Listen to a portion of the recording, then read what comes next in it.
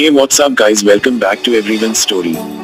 As you guys know that in the 25th episode of Pokemon Sword and Shield, we are going to get to see a rematch between Ash and Korrina. And in this video I am going to talk about how the match is going to be.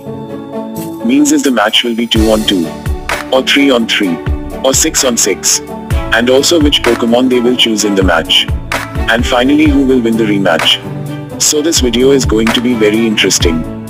So without wasting any time let me jump straight to the video.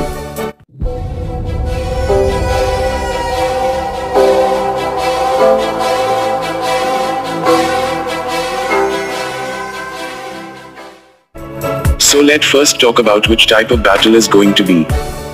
The battle is going to be 2 versus 2. Means both trainer can use 2 Pokemon. There will be no time limit for the match. And they can swap Pokemon during battle. And now let me talk about which Pokemon they will use in the battle. So about Ash we have a confirmed news that he will use his Gengar and Dragonite. And now some of you ask me how I can say that.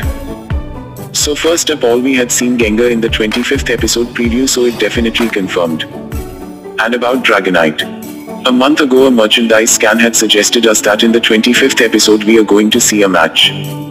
Between Ash Dragonite versus Mega Lucario. And guess what it actually going to happen. So we know about Ash Pokemon. And now let me talk about which Pokemon Korrina could use. So Korrina Lucario is definitely confirmed. And I think you guys remember that when Ash first battled with Korrina. She had used a Machoke and a Mienfoo. So she might had bring one of them in the battle. Or she can bring a surprise means a new Pokemon that she had catch. Whatever now finally who could win the rematch. So there is no doubt that the match is going to be awesome. But I still think Ash will win again. Because this tournament is all about to increase one's level. And there is no doubt that Ash will go on top 8.